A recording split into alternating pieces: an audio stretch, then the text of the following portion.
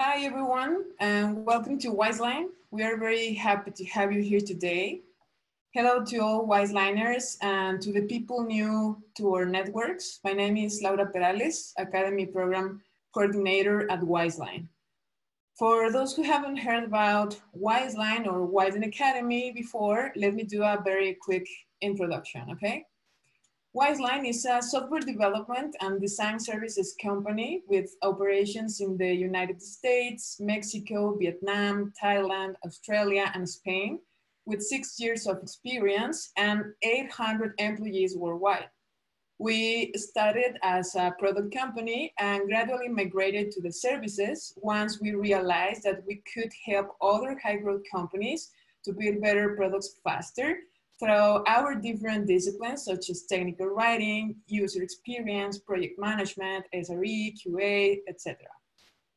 Wizeline is the trusted ally of brands such as National Geographic, Shape Security, and the Washington Post. And as part of our culture, Wizeline empowers employees and the community to innovate and grow their careers. This is the reason why Wizeline Academy was created. Wizeline Academy is a platform that offers free educational programs such as workshops, talks, and certifications in today's most high value skills in technology, like today's talk prepared by Clara and Emilio, two of our experts in UX. Um, you can follow us on social media platforms such as Facebook, Twitter, YouTube, and LinkedIn to learn about upcoming courses. And last but not least, Enjoy the course, try to be focused, ask as much as you want about the topic and do some networking, okay? This space was uh, created for you. So thanks again uh, to everyone and Clara, Emilio, thanks in advance for your dedication and for sharing your knowledge. The mic is all yours. Thank you very much, Lau. Welcome everyone to this webinar. Let me first introduce you to Emilio. Hi, everybody. Um, we're super happy and excited to be here today. Um, as Clara said, my name is Emilio Uribe. I'm a lead visual designer at Wizeline, where I love um, creating frameworks and tools and processes for our peers to uh, develop their, their work better. I love working with clients doing consultancy regarding branding, visual design, and, and all matters regarding user interface. And I'm super proud and happy to introduce you to Clara. Thank you, Emilio. I'm Clara Valderas. I'm a lead UX designer at Wizeline. And part of what I do in my day-to-day -day activities is um, to listen to people, to observe them as they are using technology, and then try to figure out ways to do technology more friendly and more easy to use. And of course, something that I uh, really enjoy is uh, facilitating workshops with stakeholders and building the strategy along with the team. And finally, uh, finding a way to um, make things uh, happen that are feasible, that are uh, business uh, goals oriented, and of course that are user centered. So um, welcome everybody in this session. I'm gonna give a little bit of uh, rules or lay of the land. Um, please turn off your microphones to avoid having noise. Um, if it happens to unmute or something, don't worry about it. Uh, it can happen to anyone. I know it has happened to me. Um, but if it's consistent, we might uh, need to mute you. So don't take that um, personally. It's just so the session runs better for everybody else. Um, you can raise your hand if you like to say something, but we are creating a spot for questions until the end of the presentation. Since we have a lot of content today planned for you, um, we would rather have uh, all questions uh, at the end, so please take note of them and we'll make sure to address them. Um, you can use the Zoom chat for underground communication and to interact with, with other people. This is highly encouraged. We have it here so we can take a, a quick glance if anything comes up. Maybe if we have uh, audio problems, you can let us know and um, we'll be happy to read you. And finally, uh, this session is going to be recorded uh, for documentation and spreading purposes. So um, be sure to smile if you have your camera on. And uh, sorry about that. Um, Clara is going to give us an introduction about this course right now. Thank you. So uh, we wanted to begin with this um, kind of question, which is UX designer or UX specialist. So um, what are the difference, what's the difference between the two of them? Um, am I supposed to choose a specialty right from the beginning, or should I wait to some point of my career to make a decision on that? As you know, uh, in most industries, we're aiming to have these uh, T-shaped professionals. In this visual metaphor, the depth of knowledge comes from top to bottom. So this yellow part here uh, would be related to this knowledge that is broad. Um, this, this, is where generalists would lay. Um, because in, in this part, we're talking about no, um, knowing the fundamentals or what is enough to know of each of the areas. And then at some point of your career, you might go um, in verticality, you might go deep into one particular area. So here the question is, um, is that really necessary? Should we need to become a specialist at some point or may I just say as a UX generalist? Um, for the purpose, we added this quote, which we really like. It's from Jamal Nichols. It says, being a generalist is great. However, it's not the generalists that push the industry forward. And this is because at the end, specialists are the ones who are going to produce more knowledge and the ones who are going to contribute to the industry. It's the content that they produce that generalists will consume. And then, well, at some point, um, some years later, um, you might be able to go into the M-shape um, designer, which means that you are able to not only uh, apply your knowledge across different situations, but also across domains. That being said, this is the road that we're going to be uh, following today. So we're going to introduce you to the UX specialties uh, very quickly, and then we're going to go into personality traits, natural talents. Uh, we're going to be using those elements to choose a specialty.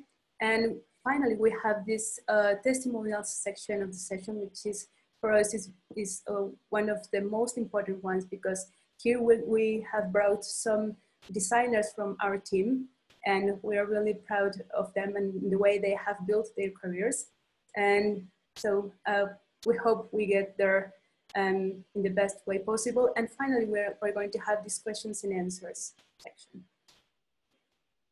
Awesome. So I'm going to begin um, talking about um, not, not only UX specialties, but how did we come up with this idea? And I'd love to start with a question for the audience, which is, um, if you had to choose today, which UX specialty would you choose?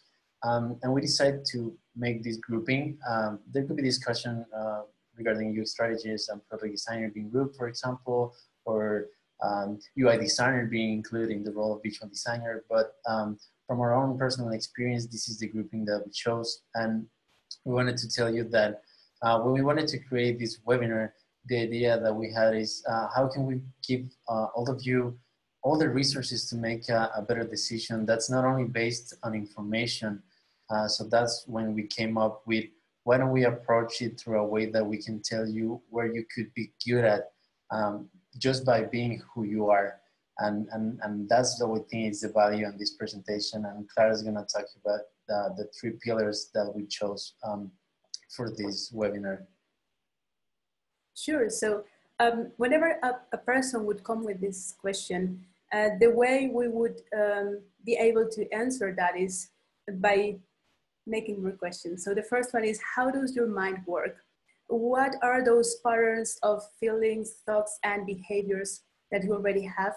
Then what are you naturally good at? What are the things that you are already doing better than most people? And finally, what is your background? And in this point, we need to be very specific um, about what we, what we mean with this because it's not about uh, having a UX background. You know, there are very few education programs that include UX as, as a core. So uh, it is very common to have UX designers who have uh, come from different disciplines. And the idea behind this is that uh, depending on the discipline you come from, or depending on the area you have uh, been working for years, that area will, will give you some knowledge and experience that you can use in your advantage when choosing a UX specialty. So for example, let's think of a, of a person who has dedicated part of his life to um, exact sciences. And so they might be analytical at some point. And here, and they might be uh, doing a really good job in things such as quantitative user research. Um, let's think also of developers or software engineers who have this knowledge about feasibility um, and they might have this um, broad point of view when, when we are talking about product design and they might be able to be aware of the effort that is needed to implement the features that are being designed.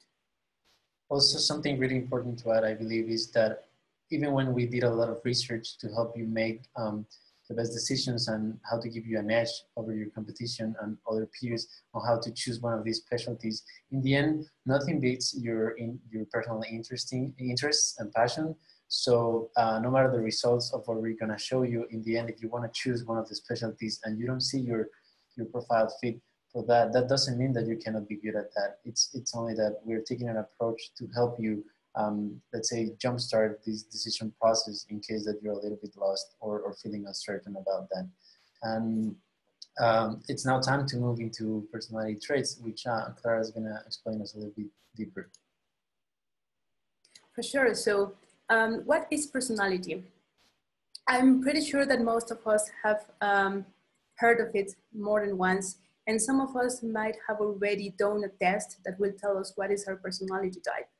Um, but basically, what personality is, is uh, what makes us different to other people, right? In the way that we behave, in the, in the way that we feel and we relate to others. Um, so let's think of personality as that uh, that makes us unique. And at the end, personality traits will reflect our characteristic patterns of thoughts, feelings, and behaviors.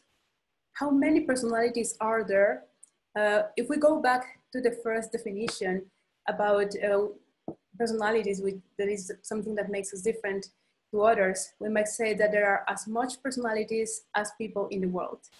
Um, however, packaging personalities or grouping them makes it easier to research around and makes it easier to understand. So um, today we're going to cover two approaches. Uh, well, the first one is this Myers-Briggs type indicator, which was um, initiated with, by Carl Jung, the father of the analytic psychology. And his work was noticed after that uh, by Katharine Cook and Isabel Briggs Myers, who are mother and daughter. And the two of them are the authors of this very common approach uh, whenever you take a test, a personality test that is based on this approach, you will get something like this. So this is a four letter acronym. And what it will tell you is that you are falling into one of these variables, introversion or extraversion, sensing or intuition, thinking or feeling, and judging or perceiving. Uh, so depending on the one you are falling, uh, your personality type is built. If we were to think of a radically different personality to this one, we would have this, uh, which is uh, basically the opposite um, variables that are being um, selected here. So after that, we have the second approach, which is the big five personality traits. It's also called the ocean. And some people might say that it would, would start with Hippocrates, and then we have several people who contributed to this approach across um, many, many years. And it started with a list of 16,000 of words to describe people, but at the end, they came out with only five. And would be openness, conscientiousness, extroversion, agreeableness, and neuroticism. The main difference between this approach and the other one is that um, rather than using types, here we're talking about traits. And this means that we don't have uh, a way to fall on one or the other. It's not binary is more like a spectrum. So you have openness and you are uh, you have this at certain degree, and conscientiousness also. You might have certain degree of it. Um, that makes it um, much more uh, accurate in some way. And finally, we have this NERIS Analytics Limited. This is a third approach and is the one that we're going to be using today and the one that we use for our research within the team. Um, this is combining the two approaches into one. So we have, on one side, we have these uh, types or that are now transformed into traits, extrovert versus introvert, intuitive versus observant, thinking versus feeling, judging versus prospecting, and finally they added one fifth one, which is assertive versus turbulent.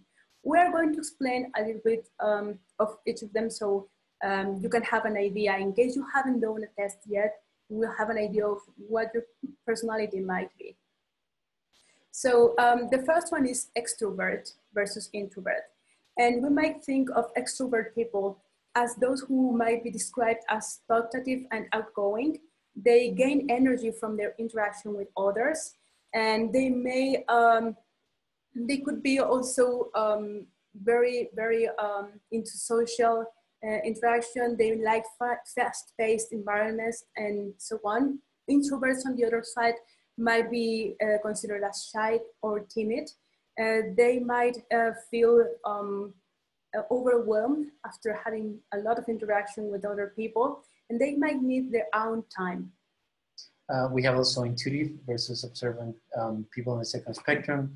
We think about observant people as people that what they see is what it is. So they tend to take a lot of decisions based on facts and what is already on the table. Um, on the other hand, intuitive people uh, really look at the world as what could be.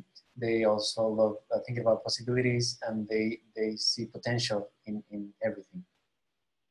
Then we have thinking versus feeling. We might think of thinking type people, the ones who are more rational, the ones that will look uh, for the um, the logic and, and this um, left brain sided people who, who are, uh, who value justice, for example.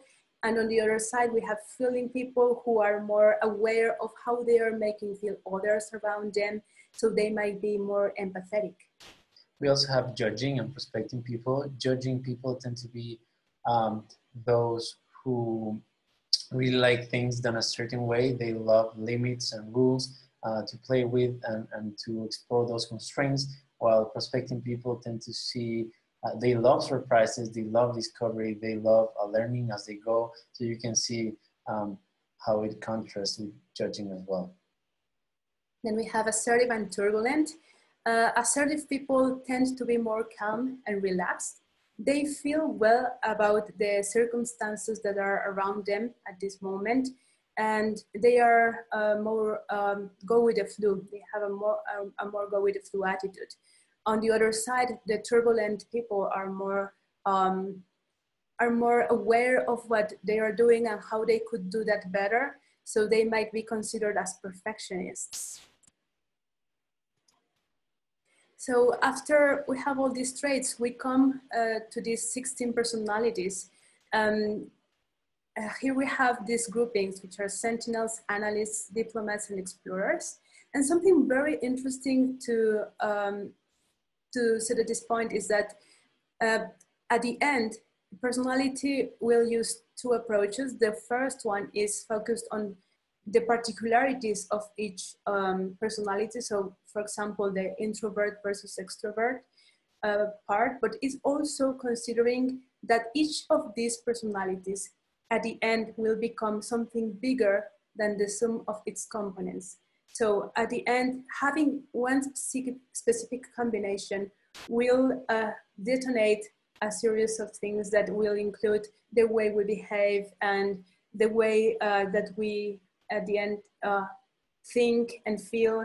And of course um, what are we what are we going to be more um, good at or what are the things that we are going to be um, doing naturally so um, with that being said um, this is a website 16personalities.com where you can find more information about this and you can have uh, you can you can take a free test in there and you, you will have uh, plenty of more information regarding the, the background and, and also some theory.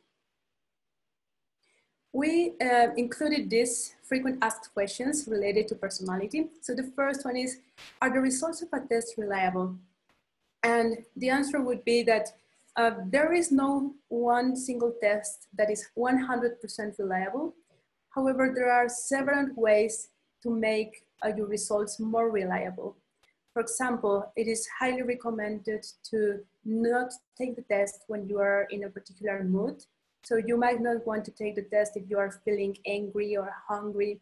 Um, you might not want to take the test when you're in a hurry, for example, or in a rush. Um, it's important that you are um, you feel stability while you are taking it. The second question is, will results change over time? Uh, yes, this might happen if our surroundings or our context changes abruptly. So let's think if that if you are moving to another city or if you have just uh, switched your job, uh, in those cases, you might want to wait until from three to six months until things feel stable again, and then you can re retake the test.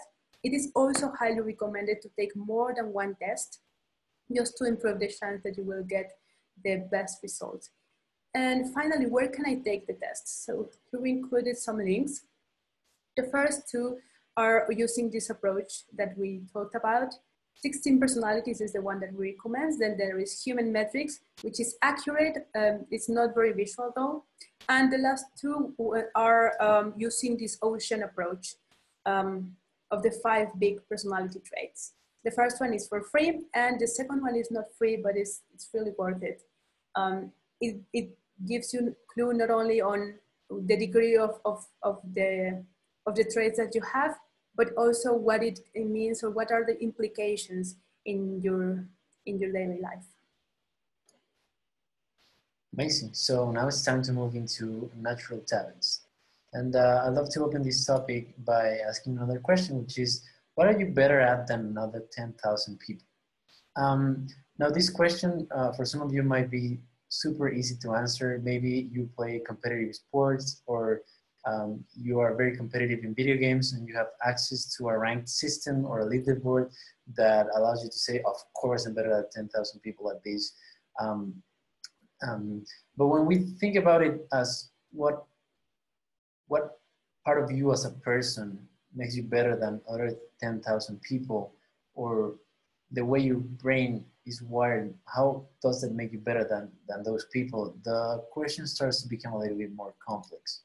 So uh, when we're talking about these um, traits or strengths, it's important to, to remind ourselves to the way that, um, that our brain is configured. When we're born, we're born with somewhere around 10,000 million of neurons, which is a lot. I don't even think I've ever seen a number of that in, in any case.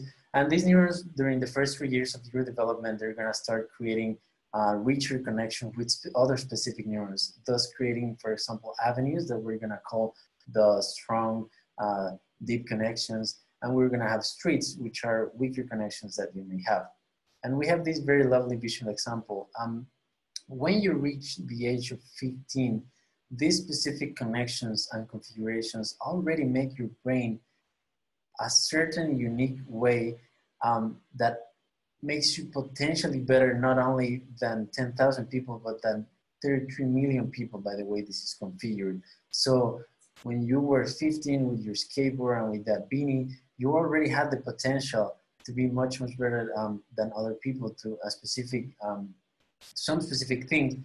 And all of this is crafted um, by your experiences uh, during your early developmental years. So it's a part of who you are. It's the way your brain is wired, and that's why this is so important to us. And we wanted to include it in this webinar. Um, when we think about the impact, um, these natural predispositions, call it strengths, call them traits, they really determine how we connect with other people, how we achieve our goals, how we even think about those goals, what motivates us, what, what is the things that we want, uh, how we move ourselves and others towards actions, um, how we reflect upon ourselves and others, how we think about um, success, for example, um, how we learn. So uh, as you can see, these are very, very, very quintessential uh, aspects of who you are and using them to your advantage is the best thing you can do in a professional um, environment and really uh, throughout your life. Um, if you wanted to identify these uh, particular traits without taking a test, you might you might have found during your your life that some people tell you you are really good at this, but not only that, it seems like you do it effortlessly. And even if you put a lot of work into that um, to the point you reach mastery, the idea is that uh, these things, when you are under pressure, for example, they're the first resources that you're gonna go at, and they're they're your almost a, a reptilian way of thinking. Um, that's just how you're wired and what you're good at. And it's also important to uh, understand that we, they could be called strengths because we're going to use them as them, but they can also be considered as a flaw because they're traits really. So for example, let's think of uh, one of the traits is analytical. When we have someone who's very analytical, that's the way to contribute, right? So they're gonna make sure that they um, really take a look at every nook and cranny so they can understand um, potential risk, identify flaws, and, and figure out um, how to make that uh, project or that feature perfect.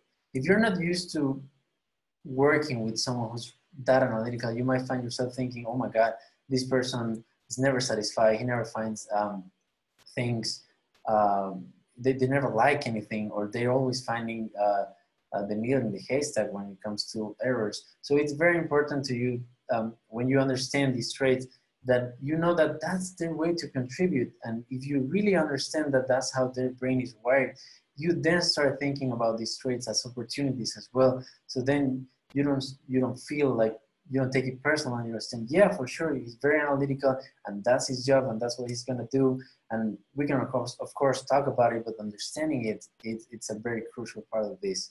And uh, Clara's gonna explain us a little bit more about this uh, specific research and how it came to be. For sure, so um, the framework that we are uh, basing this on is uh, the Clifton Strengths framework and it is it was um, generated by the Gallup company. What they did is that um, they made a research with more than two million people, uh, but these people had something in common, and that is that they were excellent at their jobs. So they might include um, excellent uh, doctors, excellent teachers, um, excellent firemen, and they um, they interviewed them to understand where this, this excellence uh, was, was based on. And what they found is that um, there were more than 400 uh, teams of talent uh, behind these people. And at the end, they were able to group them into only 34, which would be the most prevalent themes of talent. These are the ones. So we can have uh, here some, some pillars. The first one is relationship building, which includes talents such as adaptability, harmony, connectedness, includer, um, strategic thinking, analytical context, intellection, futuristic, and so on. Influencing, activator, command, communication, maximizer, um, and others. And there is executing, which is, um, which is including talents such as achiever, arranger, belief, etc. So the thing here is that um, some of this might be uh, always seen as a good thing. Let's think of, uh, for example, uh, responsibility, right? We have, um, if we hear that one person has a talent, we will for sure uh, feel good about that person. We will think of, of, of that, of her as a reliable person. Um, however, as Emilio said, it has, um, it, it, it has two faces and it's important to get to know those faces. Yeah, and another thing that is important is um, that this study, the, the real result bases on your top five um, themes of talent. And just as the personality is the sum of these top five is greater, it, it, the, this top five are, is greater than the sum of its parts. So um, it's important that you understand how they relate to each other and to yourself to make it so unique. And you may see that there could be some overlap uh, between, for example, relationship building or influencing or strategic thinking and executing. Uh, it's not the grouping that really counts. This is just so it's better to study them. But the idea is for you to really, really dive into each one of these. And when you really start um, reading about them, um, thinking about how how did those become to be, uh, what experiences in your life made you have this, and how have you been using them and how you can um, exploit him to your advantage and to use him uh, in all aspects of his life, that's when you're gonna really find the value of this approach. Um, and, and, that's why it makes it so, so powerful. Um, again, we prepare some frequently asked questions. Um, are personalities and talents related? Of course they are.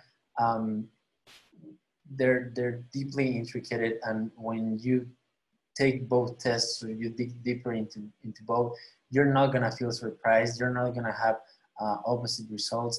in all of our research, we, we found a lot of consistency. And something that I think it's important that I mention is that when you get your top five, you might, it happened in our research, you might find some others that are really important to you personally, that are not part of your top five or your top 10. And you might think, oh, wow, I'm, I'm a little bit bummed that um, I, I really, for example, love um, relationship building aspect of, of, of these skills. And I cannot believe I'm not good at, at those. But that's not the idea.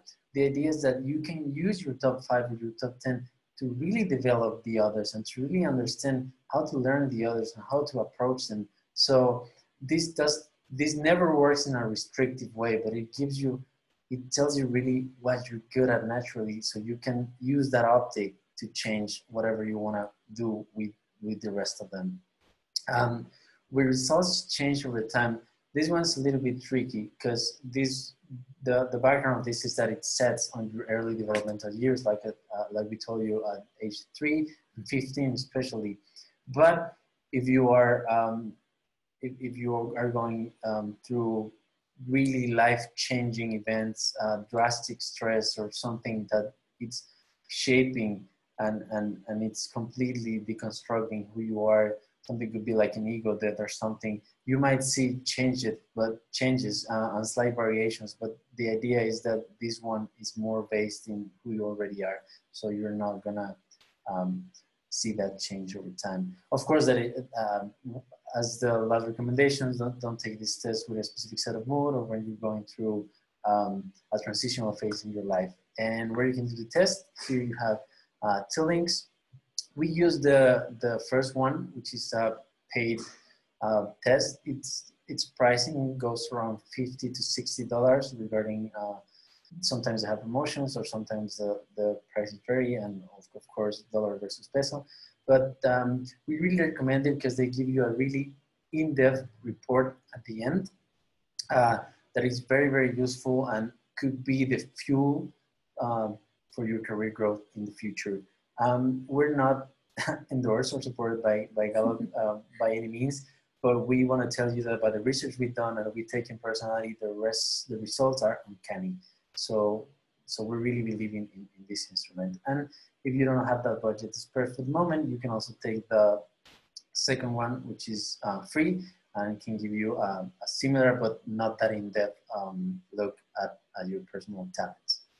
So now it's time that we go into the, the, the meat of this uh, webinar and we appreciate your patience because we really needed to fill you in, all of this context so you can understand what we did and the guides that we created for you uh, to understand what you could be better at when choosing a specialty. And what we created are these, um, we, we call it cheat sheets. We're gonna go through them where we have the description of the, of the specialty if you're not familiar with that, a couple of main activities uh, of that uh, same, same, um, same discipline. some of the personalities that based on our research, we think could really develop themselves better in this particular um, specialty and of course the strengths related and that can give you an edge over your competition in this. So I'm gonna, uh, and finally we have um, some of the backgrounds that we typically seen and that we, we think and we've seen that we they can give you an edge because of the of the subject matters they, they, they touch. And finally, a couple of quotes to inspire you and to help you understand why your team, for example, is um, leaning towards those specialties. So I'm going to start with interaction designer. Um, those are the people that define the way that users will dialogue with a digital product or strategy. They draw a lot upon user data, research, uh, team input. They generate interaction concepts and they enable seamless and relevant experience for users. Uh, if I were to be an interaction designer, the thing that I would be doing daily would be thinking about UX writing, visual presentations, and behaviors. Uh, and I would use this thinking to develop strategies to improve the interaction between users and products. I will create prototypes, either rapid ones or robust ones, to validate design concepts, whether it's with stakeholders and, and users as well. And I will really need to communicate design principles and direction in very high detail. Uh, also design specification, for example, to engineers, development teams, and any technical uh, part that's related in this. Something I would like to add about an interaction designer is that the prototypes that they are going to build uh, might not be high fidelity, but low fidelity ones, which means that uh, their prototypes might be mm, black and white um, only to understand how users are going to interact with the solution. They might think of user flows, for example, how will they go from one screen to the other? And they will not be focused on the details or the visual aspects of the design. Awesome. Um, when we're thinking about personality, we can see um, a, a, little pattern between in, intuitive um, traits. Uh, they're known from their rationality and impartiality, but we also see some uh, explorative themes, which are um, they, they're known for their ingenuity and their flexibility. And when we look at the strengths, uh, achiever is someone who needs daily um, daily tasks to complete to feel productive and to feel successful. So that's going to be super handy because they're usually um, running against backlogs, heavy backlogs, and, and doing balancing all of these tasks and prioritizing. So that's going to be good. Someone who's good at consistency is going to be great to create scalable interaction um, patterns or or even system. Someone who's really adaptable, so they can change what they're seeing after they do some concept testing or some validation with users. Um, includer is a trait that that means that you're always trying to make sure that nobody is left out. So that's going to be fantastic for this kind of uh, specialty because you want to make sure that you go into topics such as accessibility, uh, ergonomics, for example, and you want to make sure that everybody's able to use your product. And finally, uh, ideation is very self-explanatory. Somebody that uh, is very capable to bring new ideas to the table to solve problems.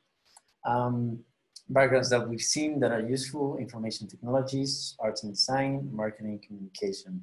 And I'd like to share one of the quotes, which is from Marco, one of our uh, teammates, which is, uh, he chose interaction design because he, he finds passion on driving the human research into efficient processes at scale.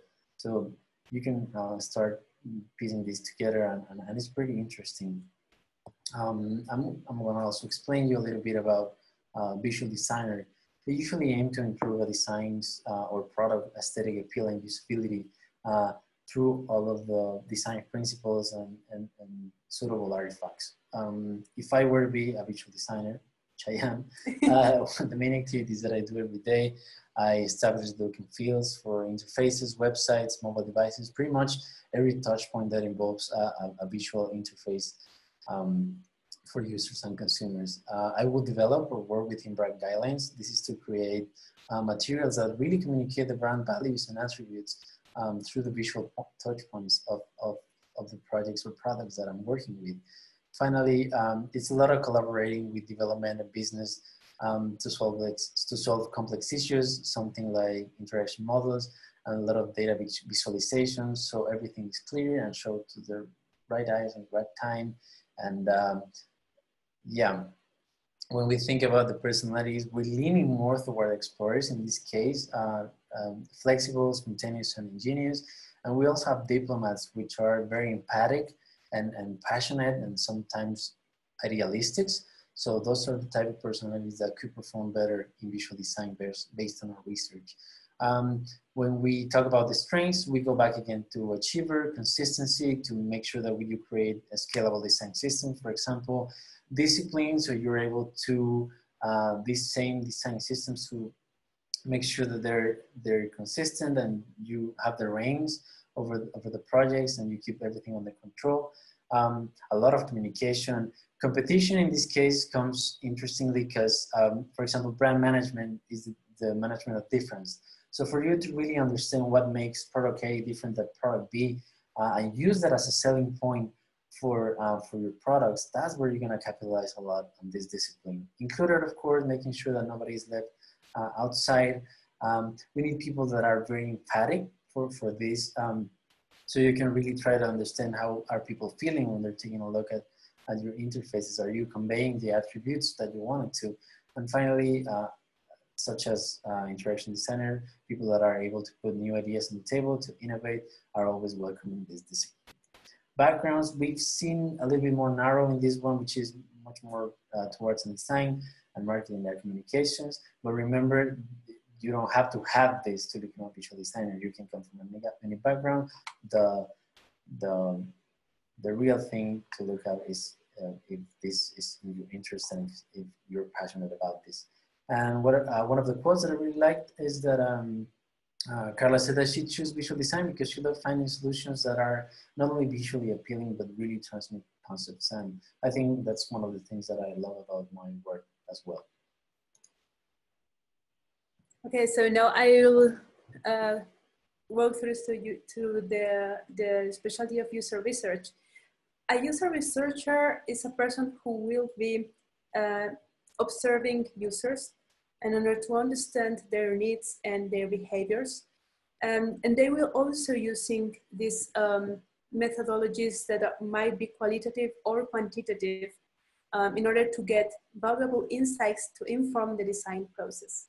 One of the main activities of a user research are creating strategies because uh, we need to understand uh, first what is the things that we want to learn about the users and then we are going to choose one method or the other accordingly so we will get the data that we need. And there is observing and listening to users regarding the use of a product or service. That would be for qualitative research, where we are in the, in the need of, of understanding deeply what are the needs that are, uh, and the needs and the goals of the users that are behind their behaviors. When we are uh, doing quantitative research, we will be observing patterns, measuring metrics, related to users' behaviors that will help us understand the impact of, of one usability problem, for example. And then they will analyze and synthesize data because after we execute, we will get too much information that we need to transform into insights that are actionable for the team and that is working on the product or for the stakeholders who are defining the strategy. The personalities that we found um, the most likable to be uh, for a user researcher are uh, first of all, architect and logician. The architects are people who are very strategic. So they are known as the masterminds. And in user research, it's very important to keep that in mind.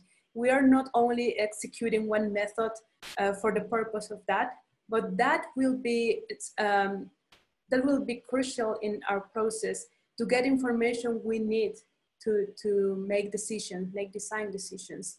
Then there's the logician. Logicians tend to be very curious and very um, thirsty of knowledge. So um, it is very important because user research is about learning, learning every day, learning about users, learning about um, what they are doing, why are they doing that, etc.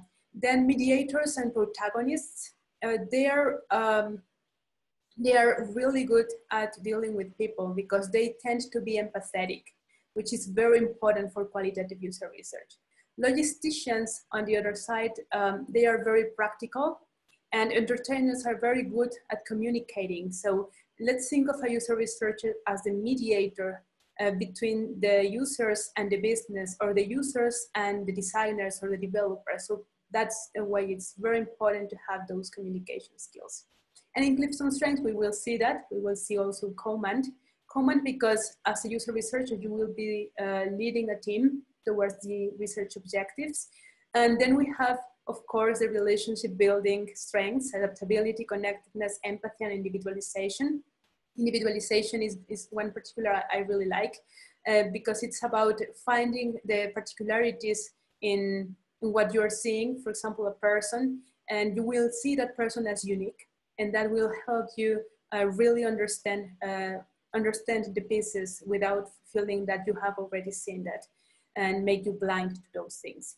And of course, we have um, several strengths that are related to the strategic pillar, analytical, context, input, learner, and strategic. Can I ask you a question? For sure. Um, what does it seem like a lot of people could be researcher? Like this is the first one where we see a lot of personalities and a lot of strengths. Yeah, uh, that's very interesting because, um, well, my, my first answer would be that user research might be seen as one discipline, but it covers uh, a broad range of um, of activities that and you need different skills for each of those activities. So as it said at first, it is important for a user research to think strategically because it's about how are, we going to achieve those goals the best way possible? What are the resources that we have? Uh, there, what are the constraints, of course?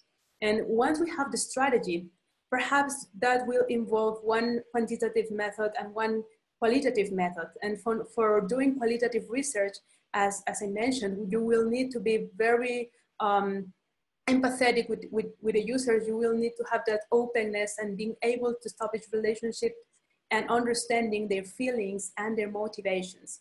But on the other side, if you go into quantitative research, then you need to be very logical. You need to be able to find patterns across the data. So that's, that's very important because uh, that's how you are going to be able to understand how qualitative has an impact. Um, so I would say that, uh, and also once you already have the insights, you need to be able to communicate them. So several skills are needed. That, that would be the answer. Maybe I'm gonna end up changing my career. yeah, you should. Okay, so um, talking about the backgrounds, uh, social sciences is one of the most uh, popular ones. Uh, social science, sciences let's think about uh, psychology or sociology. sociology. Um, it's, it's um, first of all for qualitative research, then marketing and communications. Um, some people think that marketing is, is like the, the evil um, cousin of, of user research because marketing thinks as segments while user research will think of personas. Um, but if you understand uh, that um, how, how, how to identify the user profiles and you come from marketing, you might be able to understand that. And of course, if you are into quantitative research, well, there's a huge overlap with marketing because you will talk about statistically significant data and so on. And business and finances, mainly because of the analytical part of the user research. Here are some quotes. The first is from Ro. It says, it's the closest to an analytical and scientific approach that I love. And Noemi says, it requires strong skills in observation and listening, along with a strong knowledge in a variety of user research techniques and methodologies. Awesome. Information architect. Okay, so um, let's try to think of, of an architect um, using the, the analogy of a house. So an information architect is the one who will decide how to organize content, um, just the way an architect in a house will decide um, how to organize the rooms in a house that will be after that filled with um, furniture. And that furniture might be the content in a digital space. So an information architect will plan and define structures to organize the information. And they will also uh, learn about how, you, how the users are going to use that. Just the way an architect won't build a house with five rooms for a couple, that way we won't have an information architect who will have um, a mega menu for only three items. Um, so it is, it's very important to keep this user focused. The main activities of an information architect are evaluating the findability of content within a digital product. The findability is how easy is it to find that content for a user that has a particular use case using techniques to understand the user mental model. So how, how are we connecting things or how, how, we, um, how we think of, of um, semantic groups. And for example, we will understand if users will, would group um, fruits by color rather than by shape. And we will also be working on the definition of, of the organization, navigation, and label, labeling systems, and defining the content structure and hierarchy on a digital product. How that information um, architecture will be visible for users as well. The personalities that we have, of course, no surprise, there is architect, and there is also logician, and there is executive. So um, executive people are really good, uh, for example, in organizing themselves. And that is one of the things that, that is needed here. So um, in Clifton Strengths, we have arranger, consistency, and discipline, which are more, more of the execution um, pillar. Let's think, for example, of an, an arranger of, as, as a person who will be um, knowing where to put things um, either either in the real world or or, or in our worlds well. And there's consistency, which means that when you have a system, an organization organization system, you may think of how to do things consistent so users will be able to use the knowledge they acquire in one part of your website to other part of your website. And finally, discipline, because it's, all, it's also about uh, having these ground rules and be, being able to, to attach to them and, and, and use them. Connectedness is this ability to um, identify or connect things that might feel unrelated at first, which is also needed here. And finally, we have analytical and input. Input is, is, is a funny name, but it's related to um, people who really enjoy collecting things, all kind of things, even relationships. The backgrounds that we, we would uh, say that would have an advantage if they were to choose this, this specialty are information technologies because of the structured mindset, uh, business and finances, engineering and architecture as well. And this is a quote from Pilar. She said, I love working with data, ordering and making sense out of things and their underlying structures. Amazing. And I think what better complement to um, an information architect than a content strategist? Because if we're uh, thinking about structure, then we're going to think about what's inside that structure. So content strategies will plan, write, and manage content for digital interfaces. They make sure that it's aligned with the business goals. They make sure that it's clear and compelling for users. And they make sure um, that it's properly distributed along different channels. This means that uh, it's in the right eyes again at the right time.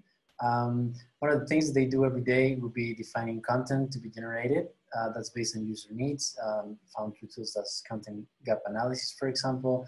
They really define the distribution channels as well. So it's not only uh, the message, but the container. Um, for website, apps, social media, based on business and user profiles needs, I think they're a specialty that's deeply related to visual design as well. Uh, it's like its content counterpart. I would like to see it like that. And they also manage the generation and publishing process of content for a digital product.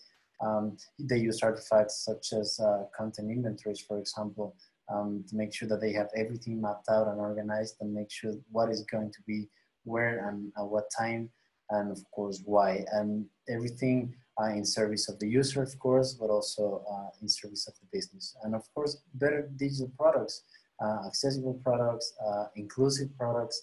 Uh, so that's something that a content strategist could do.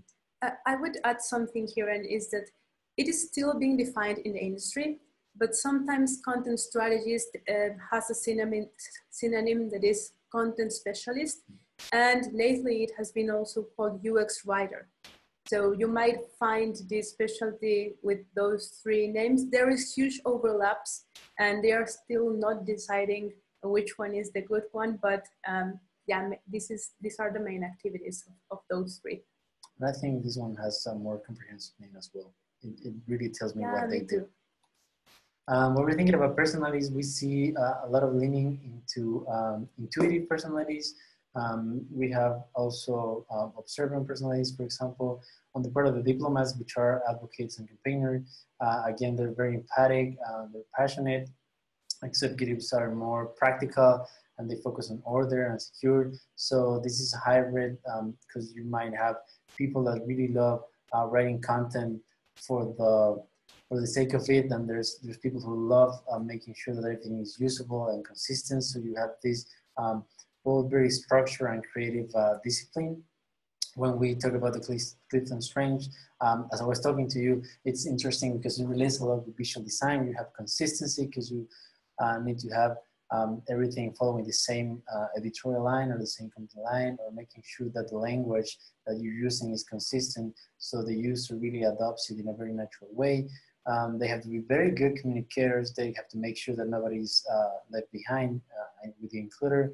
And we also have this new one that we haven't touched, which is input part of the strategic thinking. Um, someone who has this strength is someone who really, really, really loves collecting data from all sorts. So they will use these data as their pool uh, to really understand how to um, push those products further regarding this content strategy. And of course, uh, as the name implies, uh, strategic. uh, is going to be needed because they're going to be thinking a lot about not only the, the present but the future of the product and how it's going to develop over the years. So that's that's pretty interesting as well. Uh, backgrounds. Um, this is pretty flexible as well. Uh, you can have people from social sciences, sciences, um, people related to arts and science. In this case, we see a lot of uh, writers. We also see um, technical writers who kind of take this um, this approach of an hybrid within content strategy. A lot of marketing and communication could feel really natural to develop your job if you're in these industries. And another quote by, by Pilar, which we thank very much, is that even though users today mainly interact with graphic inter interfaces, information manifested as data and language, still shape the user experience of software from the inside out. So content strategies make sure that users have the certainty of navigating towards their desired goals through the appropriate modeling of content and words, word choices. So you can really see how this is super complementary to an information architect. They are deeply ingrained between each other and each one has a very specific function, but in the end they're pushing for the same, which is uh, have, making sure that the user goes where they goes and it's easy and it's understandable, um, either from a structure point of view or from the presentation, which in this case would be the content. Now we're going to talk about UX strategist slash product designer. Um, product designer works at the middle of user-centered design and business strategy. They will take care of the holistic design process to ensure that the final product helps both the business and the users achieve their goals in an effective way. Uh, so let's think of them as the ones that are going to be uh, aware of the whole process of design and they will be able to um, use uh, the, the goals of the business and use the, the input they have from user research and of course what they know about feasibility, technological feasibility, to put together one solution. The main activities they would do are define the product vision and strategy, aligned to, the, to that vision of the stakeholders in the business, defining with stakeholders the value proposition of the product that, are, that is going to be offered to users, um, identifying and keep track of success metrics. Let's just think of um, key performance indicators that will help us um, measure success across time, and leading teams towards the discovery and ideation of possible solutions to then craft plans that will allow the team to learn, build, and measure iteratively. So um, if we think of these uh, Lean UX methodologies, we would say that a product designer is the one who is going to be using them the most. Personalities that are um, considered to be the ones that might have, have uh, an advantage are architect um, because they are known, uh, as I mentioned, they are known as, as having uh, everything in their heads. They are the masterminds. And there are commanders because they will be leading a team most of times. Uh, logisticians. Logisticians are very practical people who are going to be uh, finding the most effective way to get to their, to their goals uh, adventurer and entrepreneur. Adventurers and entrepreneurs feel really good with exploration and experimentation. And that is really needed here. So they are flexible people who will be able to learn uh, fast and iterate based on that learning. Clifton Strengths. So here we have arranger and deliberative. Um, then we have um, the, the, the two pillars that are most uh, present here are uh, the one that is strategic and the one that is influence. Uh, so influence because we are talking about um, a product designer is the one who will be behind um, the execution of several people and they will need to, to transmit the vision of the business to their teams in order to accomplish their goals. Uh, then we have an execution adaptability and positivity. Why is that? We might think that positivity is one of these strengths that no one cares about because you know it's just like okay see, seeing the glass uh, half full and that's it. Uh, however positivity people who have this they are very good at recovering from failure. They are really good at uh, finding how to how to make things work. And that is why we think that that is um, that's important here. They are there's also about adaptability, which might complement that in a, in a very good way. And then we have futuristic, um, because, because of this vision they need to have for what is happening right now. How are we going to use that in order to get where we want to be in the future? And there is intellectual, learner, and of course, strategic.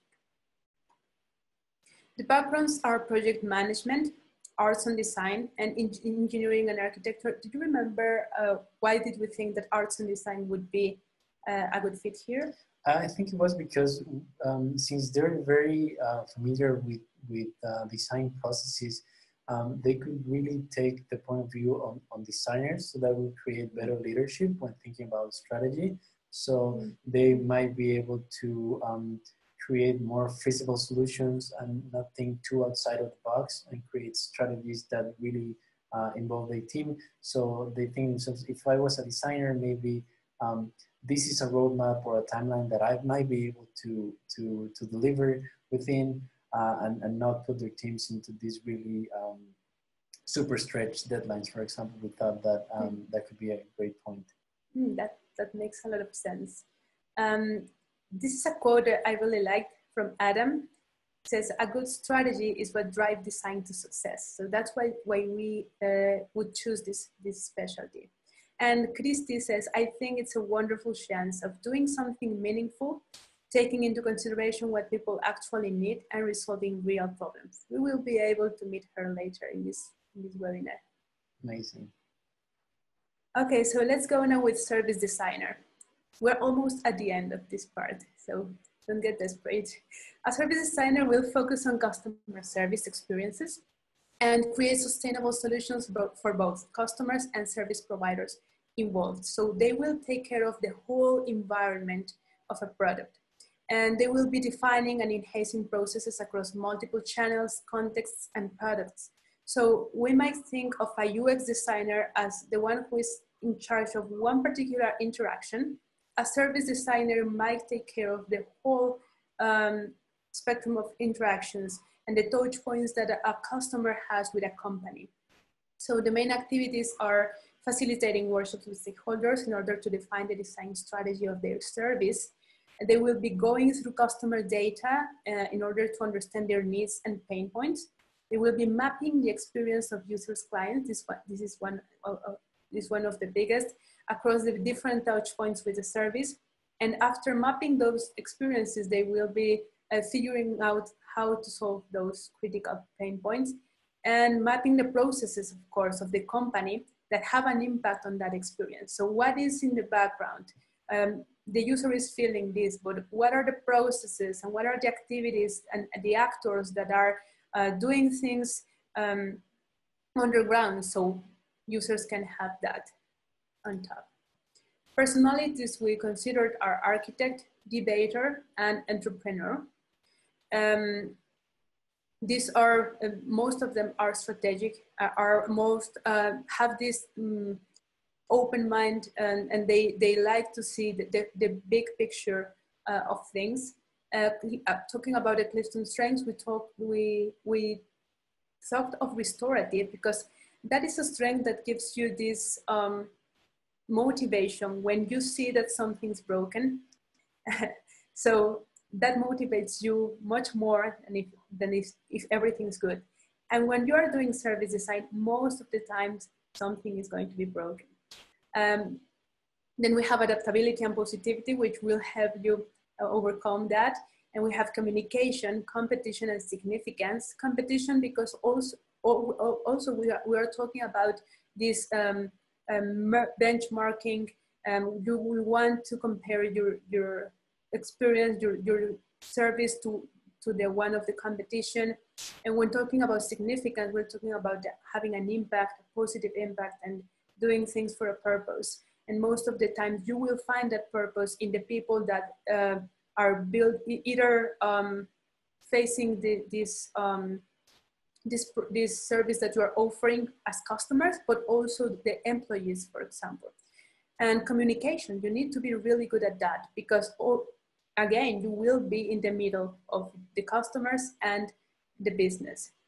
And finally, we have the, the, um, strategic um, strengths, which are futuristic, intellectual, learner, and strategic. Amazing. And uh. Yeah, so some of the backgrounds here um, that we consider that would, would be a good fit are project management, arts and design, and engineering and architecture. And here we have a couple of quotes. The first is from Elbs. She says, there is a need to understand the bigger picture. In order to support the product design development, it requires thinking in systems, understanding people beyond any service, and being able to navigate uncertainty of change without the fear of proposing something new to improve. Wow. Yeah. I think we, we could have uh, summarized everything into that single quote.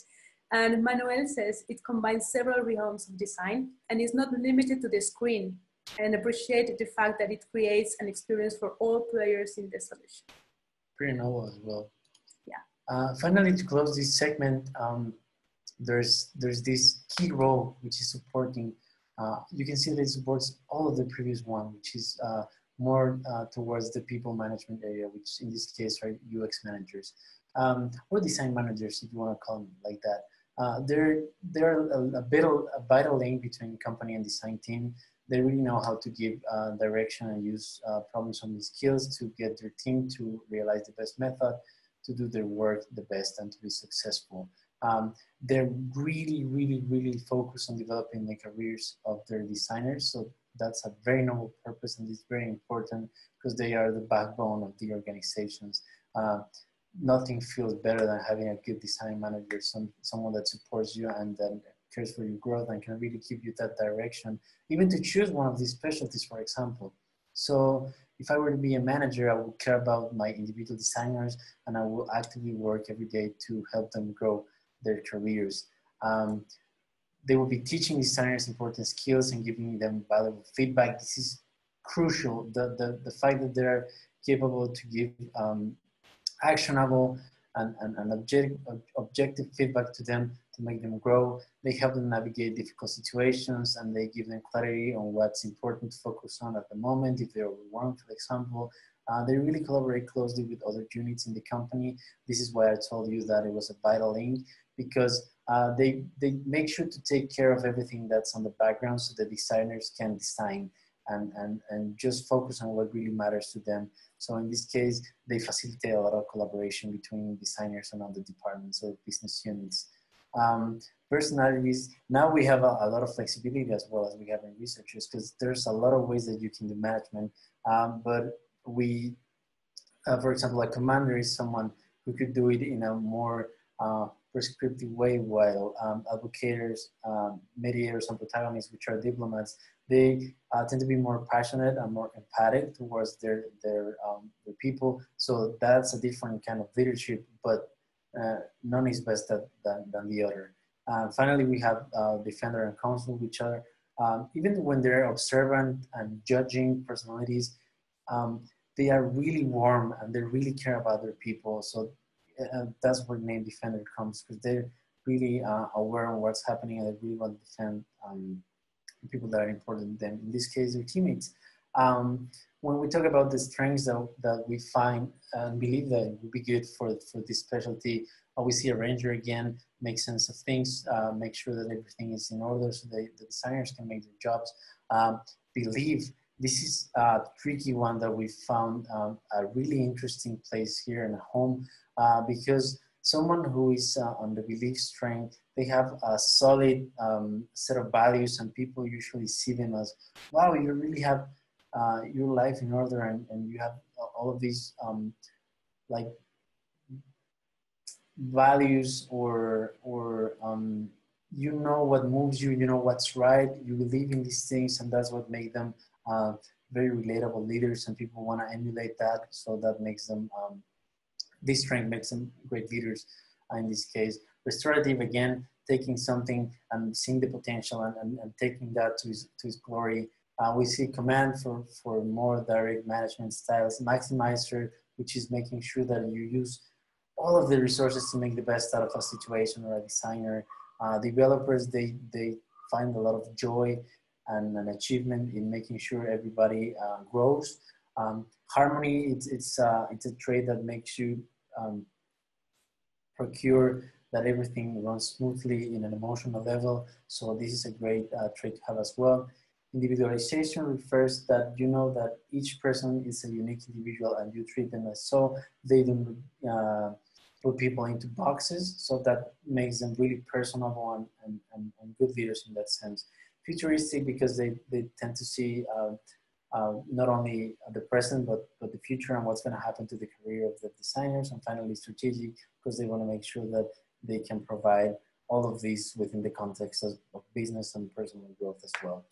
Uh, backgrounds, this can be any background at all, but uh, arts and design could be a great starting point because you will have the perspective of the people you're managing. Social sciences could give you very um, uh, psychology insights, for example, or, or a deeper bond as an individual with your uh, reports. And finally, project managers uh, could have a great edge because they know how to make sure that um, they can scope projects properly, they can understand how to run them, they can troubleshoot uh, if something goes wrong in the in the middle of the development of a project. And a quote again from Rodrigo is that he loved being a manager because you interact deeply with very different personalities and each one enriches you in his own unique way. So as you can see, it's a very noble purpose. It's it's fantastic to have this backbone to support all of the all of the the other specialties.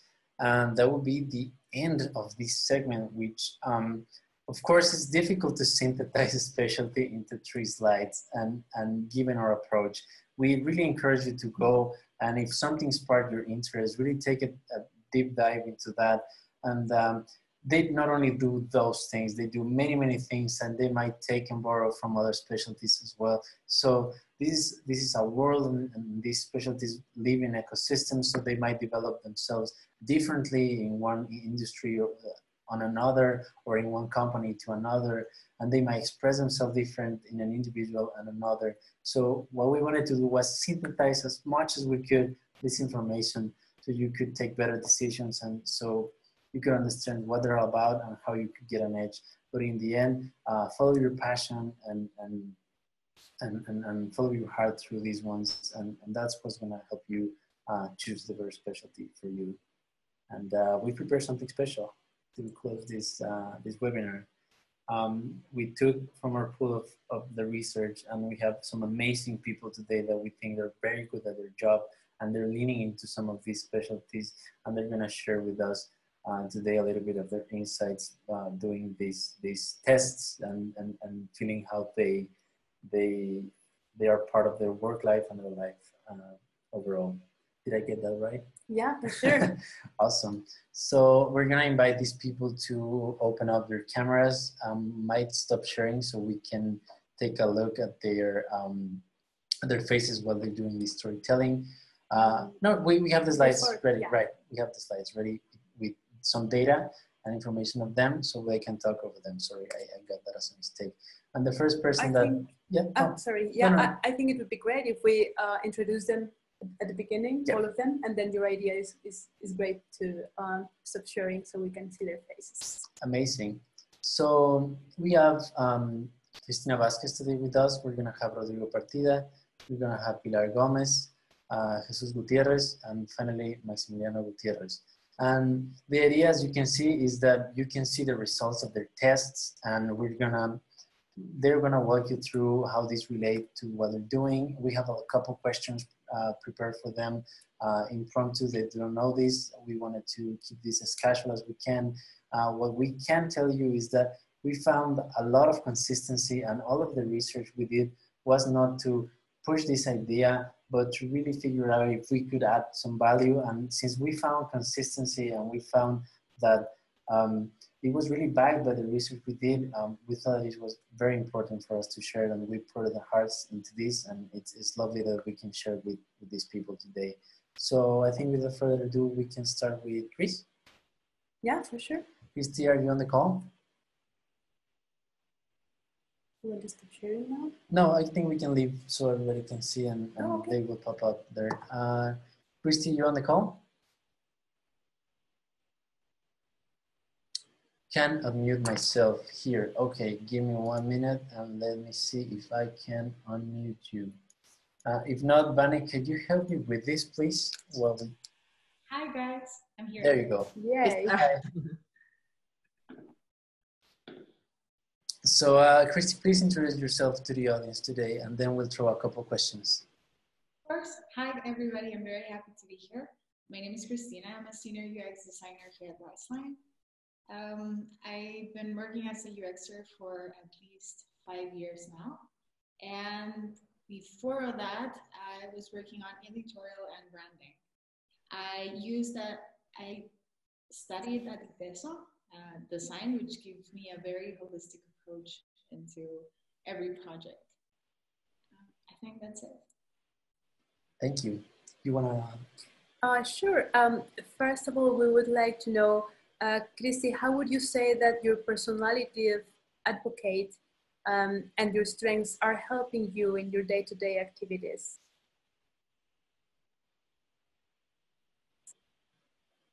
I think she got muted again. So, Bunny, could you help me unmute her? There you go. So, uh, can you repeat the question again, Clara? Yeah, sure. Um, I was thinking of um, how is your personality and your and your Clifton strengths um, helping you in your day-to-day activities as a UX designer, a senior UX designer? Of course, I think it plays a very important part. Uh, as I was reading this Clifton Strengths, one of the top things that uh, I was shocked to discover was this achiever uh, prompt.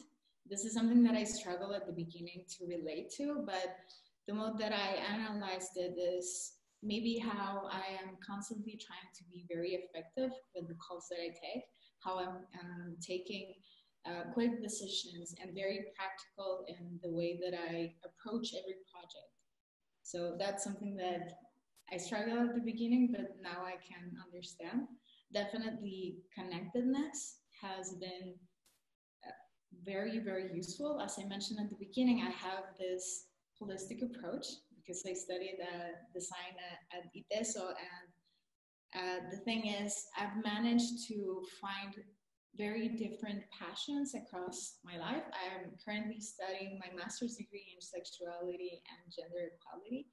And I think that even though that it's a very different area, it gives me a new perspective and a new light in the way that I analyze every product that I'm now creating. Like maybe terms in inclusion and accessibility and finding those links and those connections has made me be better at uh, how I approach life and my work. That's great. Thank you so much, Christy. Should we go now with? Um... Yeah, I think we might keep it short because we have uh, we're a little bit short on time. But Christy, thank you very much for this answer. We're gonna move now um, with Rodrigo Partida. Uh, Ro, are you on the call? And if you are, could you please, uh, Vani, help us unmuting him? Yes.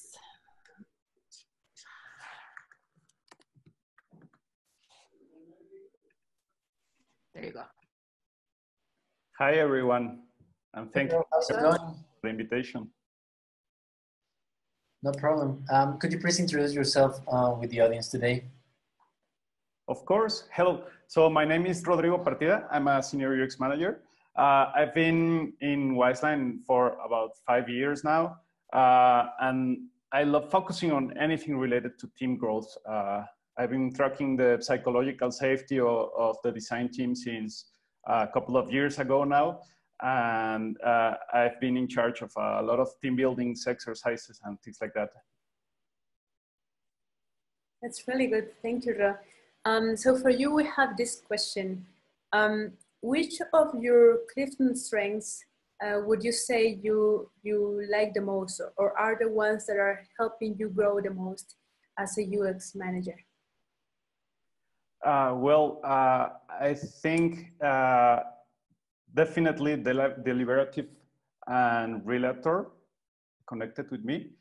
Um, actually analytical uh, also to make it a top three. Um, so deliberative because it's about making very careful decisions. And as a manager, you need to consider very different factors from different dimensions, like um, the, the impact on people wellness, the impact on the project, the impact on the timelines. Uh, so um, I, I, like to make a lot of questions to myself and to others before making a decision and implementing it. Uh, in regards to, to analytical, uh, I'm a, a, a big uh, question making fan. Uh, uh, I like to make sure I, I get the problem from different angles before having a posture about it or, or defining an, an opinion. Uh, so it's become a habit. And finally, relator. Um, uh, actually, you told me, Emilio, that, you have noticed that I have inside jokes with everyone. And well, uh, getting to meet everyone personally makes me uh, understand a lot about their capabilities and their talents. So uh, it's in the name. I mean, it says relator because it's about connection. And I've made, I've made so many good connections, uh, not only of myself with others, but also between others. I've introduced people that some might have something that others need and things like that. That's great.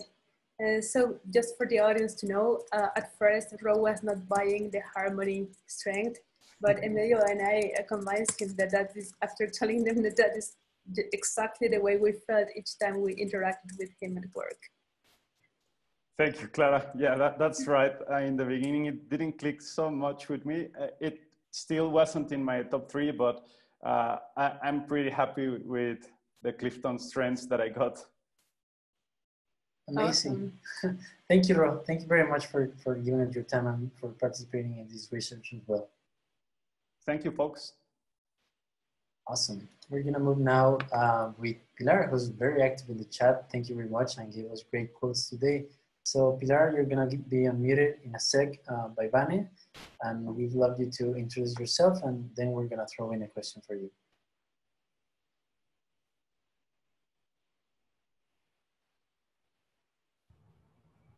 Good. Uh, hi, everybody. Uh, my name is Pilar.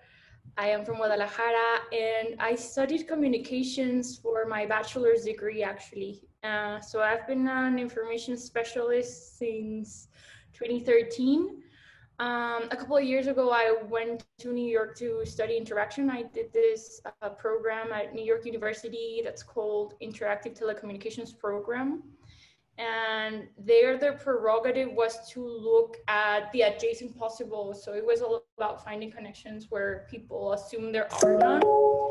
Um, later that I did these two um, tests, I realized that connection and building bridges is at the core of what I do and what I've done since the beginning, but now I not only have my expertise as an information specialist, but I also have the interaction part of it, which is what moves the universe, uh, what keeps the universe going. So I don't know if you have questions for me.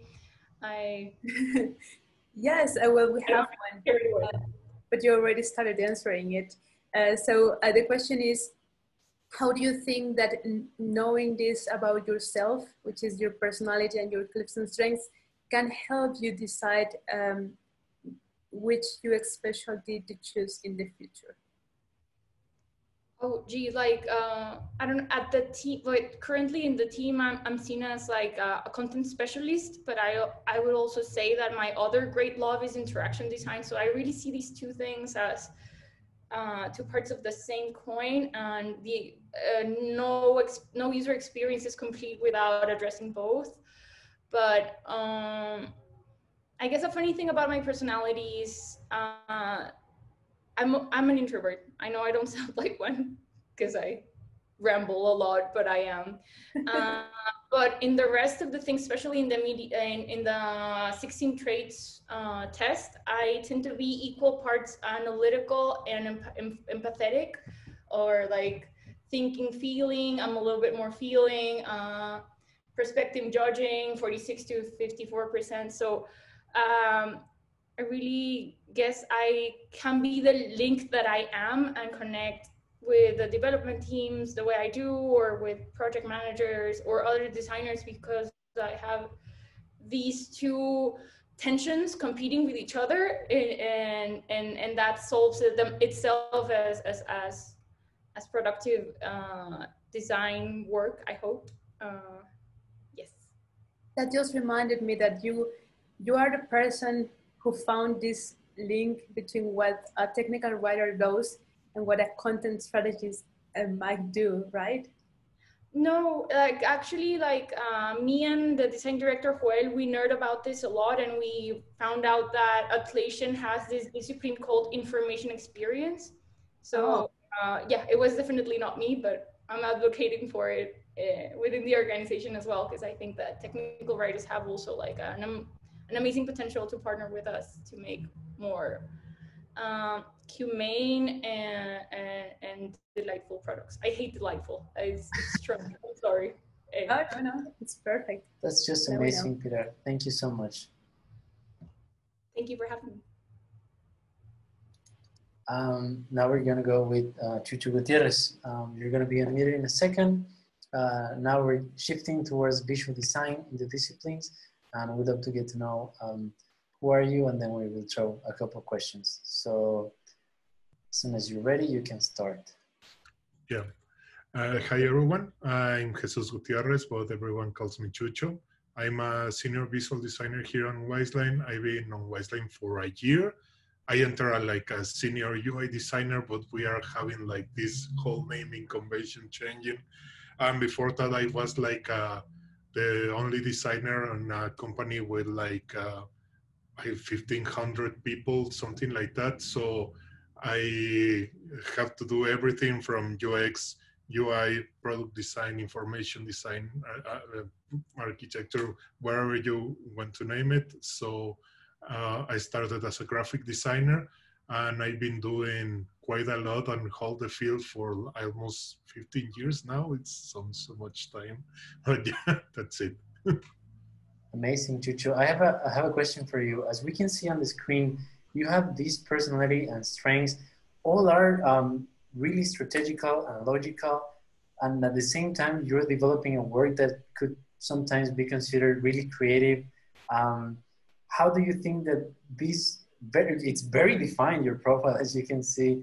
How do you think this this has shaped the way you approach uh, visual design or user interface that is the, your specialty?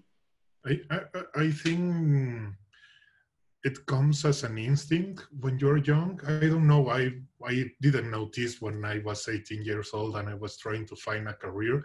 Uh, but uh, I I like both sides. I like things that look pretty. I like things that work. But I like things that are logical and make sense and helps people. So this is I, I think that's why I chose the career that I choose. Uh, so I I try to uh, have a, a, balance between all of that. Like I I like to open an app and say, oh my god, this looks beautiful. I don't know what it does, but but it, it looks beautiful. Look the colors, look the animations. It makes so much sense. And then you start using it, and you start wondering like how how they uh, how they are able to do something that it's so so pretty, so nice but that also helps you and also makes your life better and you know everything should be like that and this is what the, the the, the, what I like to do. Like I, I like to analyze problems. I like to ideate what how we could take this problem, a problem that it's usually an ugly thing, something that it's missing, like a void in the space, and and pulling out your intellect to it to, to create something that works, that solves this problem, but also solve the problem to have more beauty in the world, that it's something that we should all strive for. That's amazing, Chucho, and really awesome. Thank you very much for participating in this. Thank you, guys. Thank you, Chucho. And finally, we're gonna have Max, um, amazing designer and very great friend of ours. Uh, so when you're muted, uh, please introduce yourself and then we'll throw a little question your way. There you go. Hey, how are you doing? Uh, thank you so much for, for this chance to, to speak about, about design. And well, uh, my name is Max. I started as a really artistic, creative little guy. And um, when the time came to to choose a profession, I did a bachelor in animation and digital art. And from that moment, I started experiencing and uh, meeting new people, new professions. And today, I might say that I'm a, a, a designer that believes in digital transformation, the power of technology, the power of design. And I would say that uh, my yin and yang are user needs and business objectives because I know that they correlate and when they work together, you can like achieve amazing things. Awesome. Thank you, Max. Uh, so would you like to launch a question? Sure. Um, so in this case, you have a very particular profile because I see that your background is very, very creative, even to the point of going into animation and digital arts which is something that we will commonly see more towards perhaps visual design, for example. I think that's more common to see. On the other side, your strengths are really more into this um, strategic part of design, which is, I think, more related to UX design as you as you um, practice it. And on the other hand, your personality goes back again to the artistic and uh, and uh, so you yourself have a yin yang going on, and I really want to know um, why did you went into UX design rather than visual design, and how these strengths come to help you when you're doing that. Okay, uh, and when I think of that, uh, I love like when you were talking about all the specialties of design. Uh, I was like, yeah, I like that. Yeah, I like that. Oh my god, I like that. But the differentiator is when when I'm actually working on it, and when suddenly like my my body stays in the computer, but my mind is super active and energetic and feeling great is when I strategize, when I when I think, when I when I learn. And for example, my creative background really helps me because uh, I, I really enjoy product design. So in order to to to be a a good product designer, you have to understand all the all the perks, all the challenges of visual design, of technical aspects, of all these all these little elements that will make the product succeed.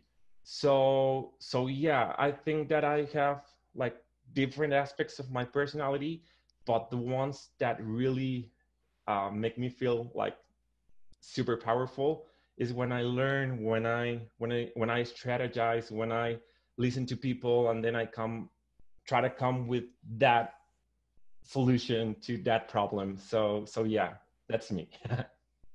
that's that's an amazing answer. Thank you very much, Max. Sure, thank you, thank you. It's so great. Uh, the, the fun thing about this is that um, we, we, we didn't know these answers. So I feel like I'm taking also something from this webinar. uh, and it ended a very powerful yeah, note. Um, that's going to be the end of our roadmap for today which uh, leads us to the questions and answers. I want to be very respectful of everybody's time, and I know that we're clocking already at what is supposed to be the end of this webinar.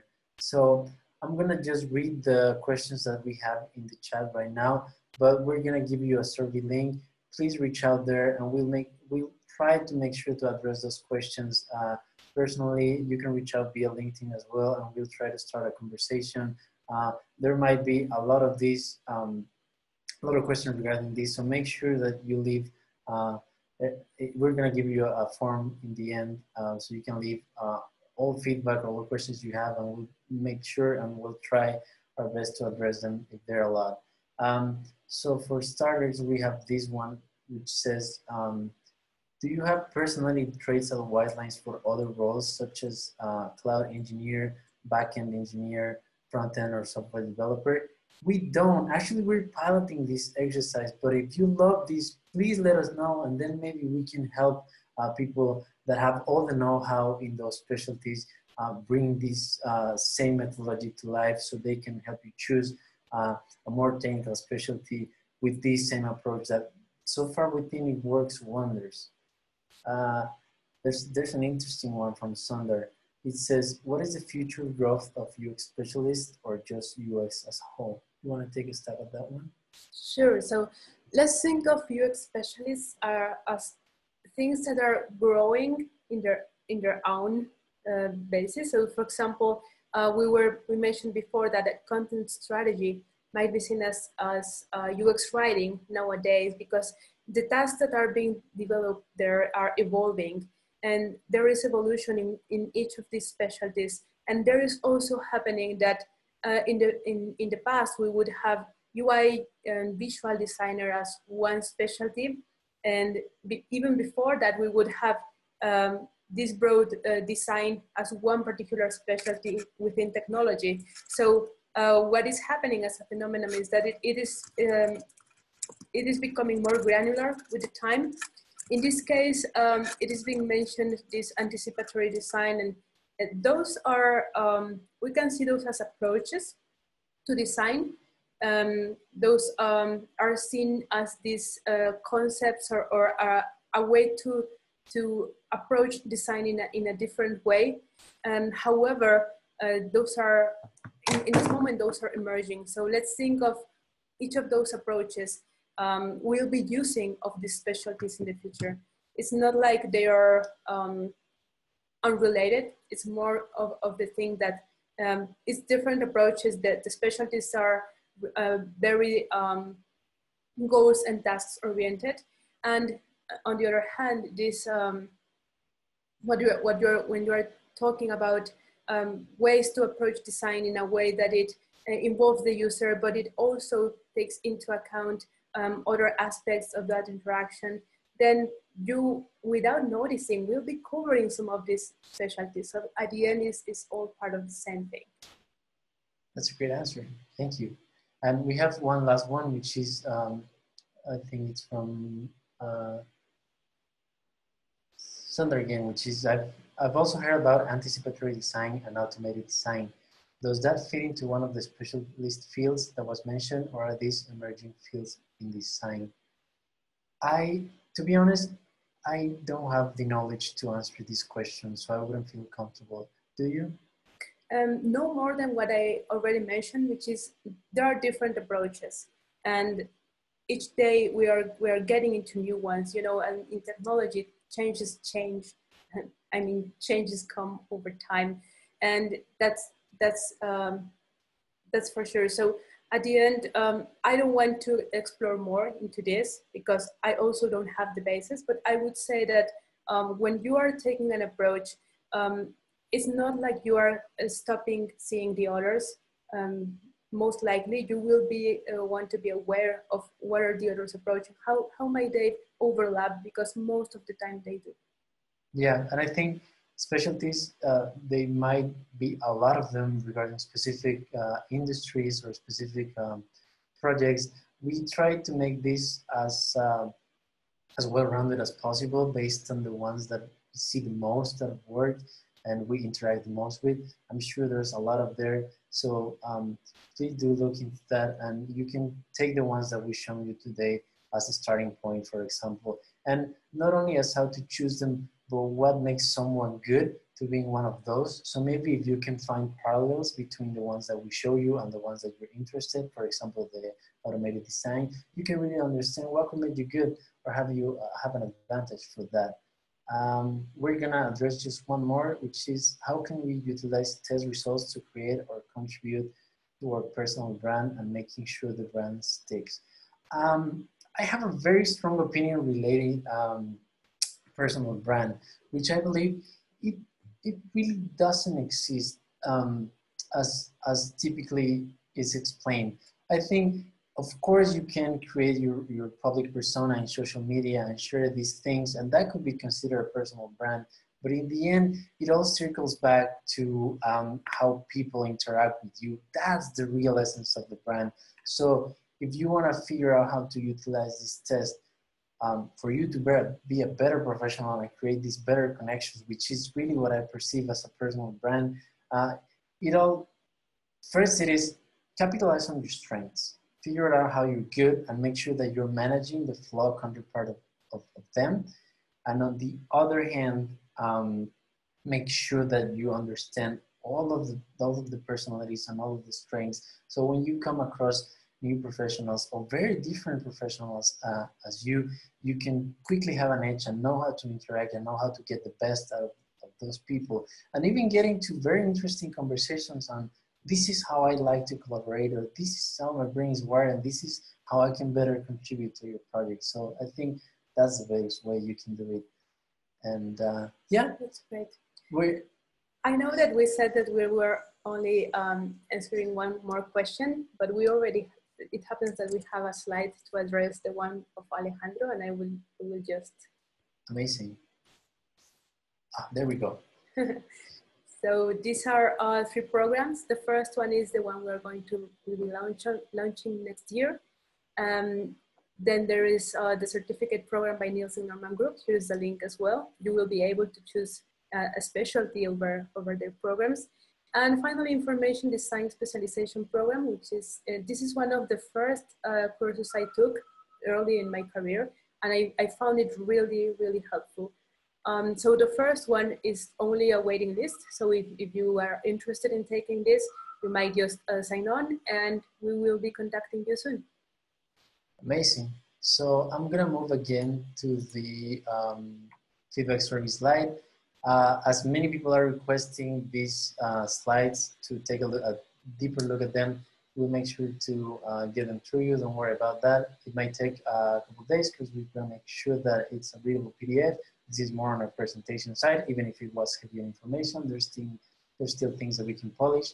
And uh, we we really, really, really want to thank you for giving us your time. One and a half hour is a huge honor for us to have uh, on behalf of Wizeline and Wizeline Academy. Thank you so much for sharing this time with us. We really hope that the content of this presentation was useful to you because we really put our hearts into it. And um, it was an amazing experience, an amazing discovery thing for us. And what than helping somebody um, uh, understand and find their way through through UX, which is something that, that we love. Uh, thank you for all your comments and we really appreciate your feedback so we can get much more useful content uh, into your, your eyes and your ears and hands. So um, thank you very much. Have a lovely day, afternoon, and uh, we'll see you soon in another webinar.